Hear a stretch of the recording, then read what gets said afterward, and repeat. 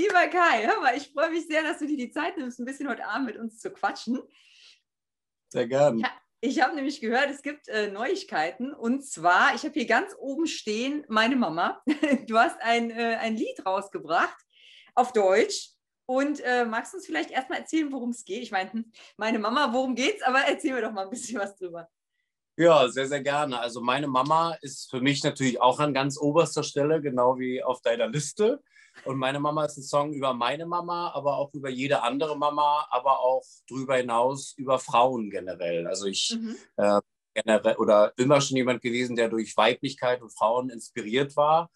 Und jetzt mit deutscher Musik aufzukreuzen, da hatte ich das Gefühl, ich muss über andere Themen anders sprechen. Und das ist mir gerade ganz doll am Herz, weil ich seit Corona auch bei Mama zu Hause wohne quasi, mhm. Stunde von Berlin weg. Bauernhof, da ist alles noch, wie es mal war sozusagen.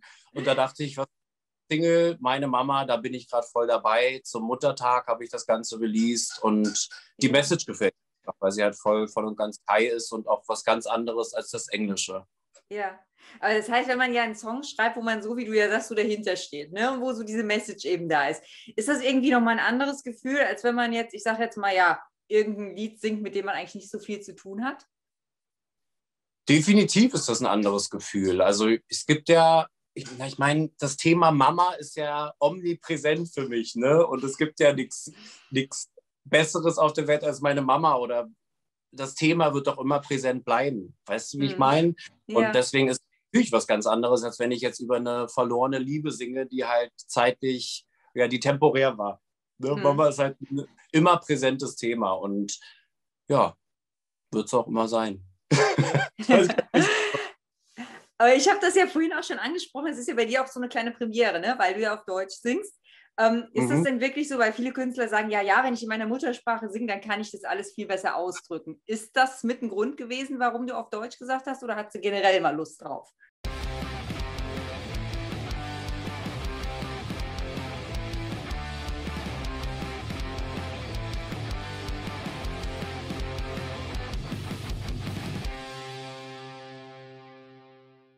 Ja, also besser ausdrücken, definitiv und vor allem auch ehrlicher, habe ich das Gefühl.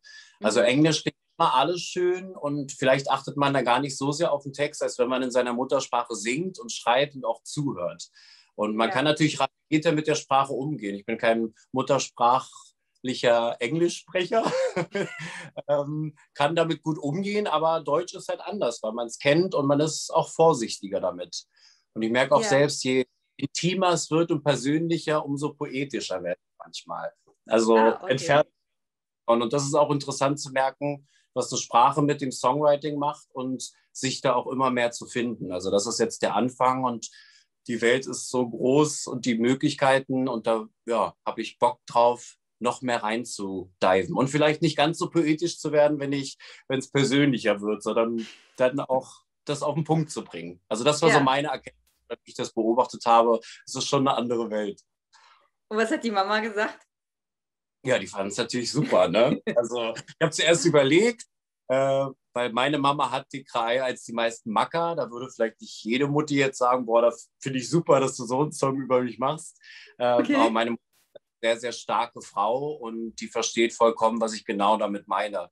Und äh, ja, da war sie sehr happy habe ich sie zum Geburtstag überrascht, als ich einen Monat hier im Studio war, wo ich jetzt auch gerade bin in Hannover. Ja. Ähm, habe ich mit dem Song zurück und da war die Freude groß.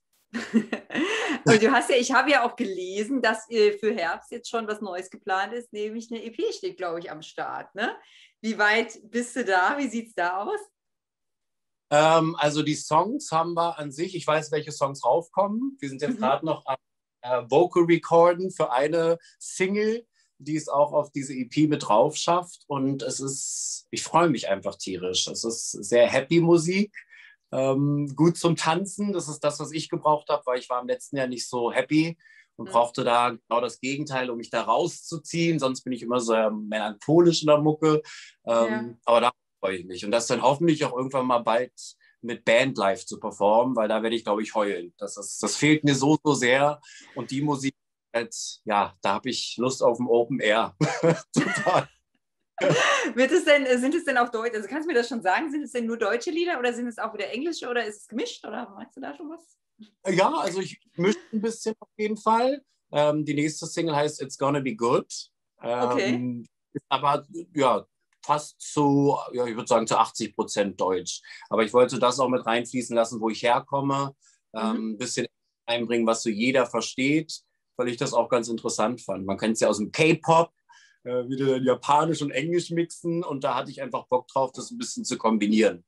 Ja, okay. Und wie, wie Aber muss ich mir Deutsch, ja? Ich mache deutsche Mucke mit englischen, mal hier und dort ein Englisch. Okay, ich bin gespannt, aber.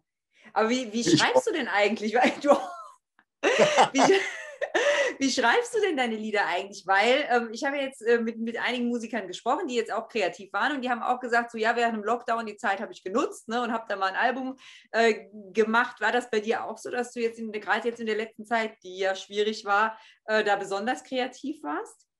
Ja, auf jeden Fall. Ähm, das war auf jeden Fall so, dass wir uns einen Monat hier eingeschlossen haben und einfach probiert haben, ähm, ich war davor auf Tour mit dem Phantom der Oper. Davor ist also quasi vor Corona-Ausbruch, wo ich auch Deutsch gesungen habe. Und es fühlte sich nicht verkehrt an. Und immer wieder haben Leute gesagt, probier das doch mal auf Deutsch. Und dann haben wir es mhm. probiert. Und dann lief das gut und dann war man so Feuer und Flamme dafür, dass dann ganz viele Songs entstanden sind, wo man sich jetzt tatsächlich auch entscheiden kann, welchen nimmt man denn oder nicht. Ja, okay. Wie war jetzt die Reaktion auf das, äh, auf meine Mama? Wie würdest du die empfinden? Weil du hast doch bestimmt auch, du hast ja klar über die sozialen Netzwerke und so weiter. Man hat ja jetzt ein bisschen mehr Kontakt sogar noch als früher, hat man das Gefühl. Bist du zufrieden ja. mit den Reaktionen, die du so bekommen hast? Auf jeden Fall. Also es ist für mich super aufregend gewesen, das überhaupt anzukündigen. Ich mache jetzt Deutsch und der erste Song heißt Meine Mama, vor allem weil er mir auch so am Herzen liegt. Ja. Aber das Feedback durchweg sehr positiv. Auch zum Musikvideo, wo ich ja auch die Frauen im Fokus haben wollte, verschiedene Frauen aus verschiedenen ähm, Altersgruppen, verschiedener Herkünfte. Und ja, da bin ich erstmal sehr stolz drauf und auch happy über das Feedback. Ja. ja. Das hat auch, ich war relativ fix stolz darauf. Ich kann mich nämlich erinnern, im letzten Jahr, als ich mein erstes Musikvideo zu Infected rausgebracht habe, war ich da als eigenständiger Independent Artist so auf die Zahlen fokussiert und Views und Promotion, ja. dass ich gar nicht Augenblick genommen habe, mir selbst zu sagen, ey, du hast da ja gerade harte Arbeit reingesteckt, du hast jetzt ein tolles Musikvideo. Und daraus lernt man und da bin ich sowohl stolz ganz schnell geworden, als auch gutes Feedback, was ich ja. bekommen habe. Und das ist ein Lernprozess, der super spannend ist. Ich habe jetzt hier noch eine, noch eine ganz große äh, Frage stehen. Ja, eigentlich keine Frage, ist eigentlich äh, eine Bezeichnung. Da steht Voice of Germany, ähm, weil äh, meine Frage, es ist immer blöd, wenn man einen ehemaligen Castingshow-Teilnehmer fragt, und würdest es wieder machen? Das, das möchte ich nicht fragen. Aber ich, mich interessiert mal, ja, würdest du denn sagen, dass sich das äh, künstlerisch auch weitergebracht hat, weil du ja auch ja, erstmal die Erfahrung dann gehabt hast, vor diesem riesengroßen Publikum zu stehen? Ähm, würdest du sagen, das ist eine Zeit, die ich nicht missen wollte? Ich war ja tatsächlich zweimal da. Ne? Ich war ja mhm. 2012 dort und im letzten Jahr dann als All-Star und ich muss sagen, ja. es waren vollkommen verschiedene Erfahrungen. Also ich würde jetzt wahrscheinlich sagen, ich gehe nicht nochmal hin. Nach dem ersten Mal habe ich gesagt, ich gehe nochmal hin. Ähm, liegt einfach daran, dass ich vollkommen unbefangen ans erste Mal rangegangen bin. Also ich hatte da ein paar Auftritte, konnte es an der Hand abzählen, so in mhm. Berliner Clubs, habe die so ein bisschen geguckt, was geht so. Ähm, und dann ging eine ganze Menge und ich hatte einfach super viel Spaß. Und im letzten Jahr war ich nicht happy. Für mich war das geknüpft an, an, an eine Karriere und an Ziele, die man sich steckt dafür. Ja, und da klar. war ich einfach sehr verkopft. Und das, das sehe ich auch, wenn ich mir das angucke. Also ich sage immer, das ist Corona Kai Edition. ähm, ich bin stolz, dass ich es gemeistert habe in der Zeit, weil es war schon hart. Es war nicht so easy wie das erste Mal. Aber ich bin ja sowieso ein Mensch, der denkt, Dualität ist das Thema und ich freue mich, dass ich beide Erfahrungen gemacht habe. Und die ja. letzte Erfahrung, die gut war, hat mir aber das Feuer gegeben, was ich jetzt brauchte, um die Songs zu machen. Also es führt immer eins zum anderen. Grundsätzlich würde ich sagen, versucht es auf jeden Fall, ähm, geht da aber easy ran, weil im Endeffekt ist das dann auch nur Fernsehen, auch wenn es ja. Fernsehen ist. Ja, man darf das zu sehr ins Leben übertragen, finde ich, manche ja. Sachen. Okay. Ja. Aber dann, dann stellen wir uns doch jetzt einfach mal vor, Corona wäre vorbei. Ne? Wir sind alle irgendwie, keine Ahnung, geimpft oder der Virus ist, das Virus ist einfach weg. Nehmen wir einfach mal so an. Ähm, und die ersten Live-Auftritte stehen wieder an. So, wie stellst du dir das vor? Also, wie meinst du, du würdest, also du stehst dieses Jahr nochmal auf einer Live-Bühne?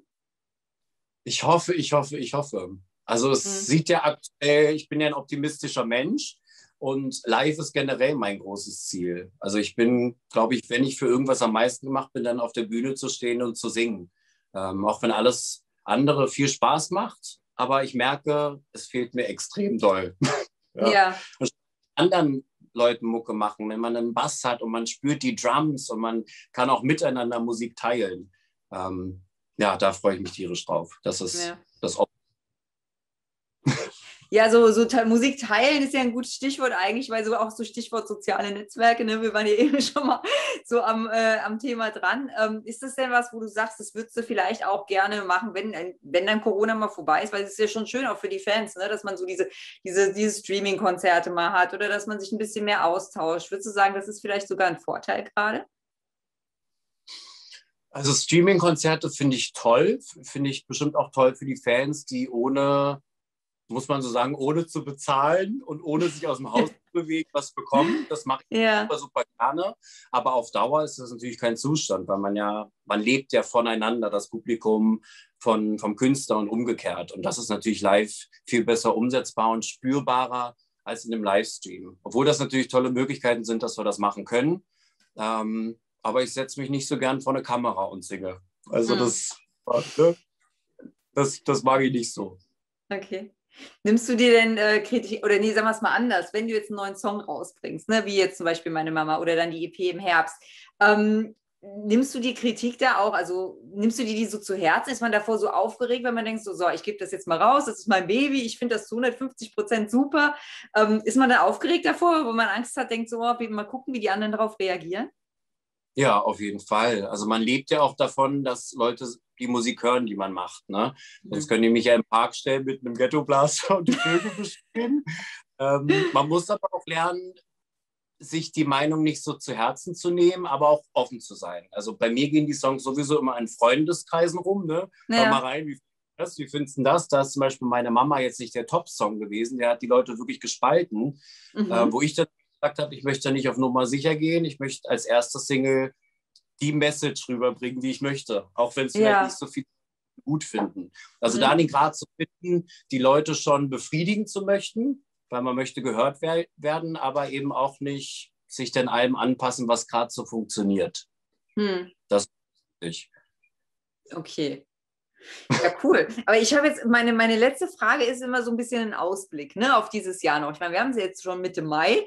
Jetzt haben wir ja schon die EP festgehalten. Ist das also Herbst oder hast du da schon ein genaues Datum? Wahrscheinlich dann noch nicht, ne? Weißt oder? Ja, September sieht ganz gut aus, aber es wird ja? auf jeden Fall auf meinem dann gepostet. Natürlich. Ähm, ja, und jetzt bis dahin ist natürlich Menge zu tun. Wir nehmen jetzt gerade Vocals auf und dann gibt es wieder ein neues Musikvideo, was gedreht wird. Ich habe noch ganz viele andere Ideen, die hier irgendwie aus dem Kopf mal raus müssen. Ähm, und da habe ich schon gut zu tun, selbst auch wenn man jetzt nicht live spielen kann. Es gibt immer was zu tun und vor allem die Zeit zu nutzen, wenn man denn mal kann. Ähm, auch das zu tun, was man sonst nicht könnte, wenn man auf Tour und so weiter ja. ist. Also man muss es Aber positiv sehen. Ja. Ja. Aber du hättest zur Not auch noch Zeit für ein, zwei Live-Auftritte, wenn es dann wieder geht. Definitiv. Also das ist, äh, das ist keine Arbeit, das ist dann für mich äh, ja, der Ausgleich zu all dem anderen, was man machen kann. Es ist organisatorisches mit dabei und da ist so ein Live-Auftritt perfekt, um das auszubalancieren. Ja, aber vielen lieben Dank. Es hat mir sehr viel Spaß gemacht. Und so. äh, wenn ihr euch irgendwie meine Mama mal anschauen möchtet, also wenn ihr nicht, euch nicht meine Mama, sondern seine Mama im Video anschauen möchtet, ich verlinke euch das alles unten und dann äh, schaut gerne mal rein. Vielen lieben Dank, Kai. Hat mich sehr gefreut.